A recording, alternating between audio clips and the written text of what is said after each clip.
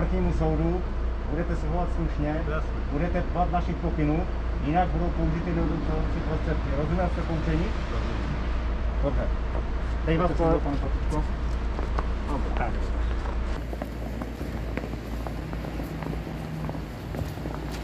Thank you.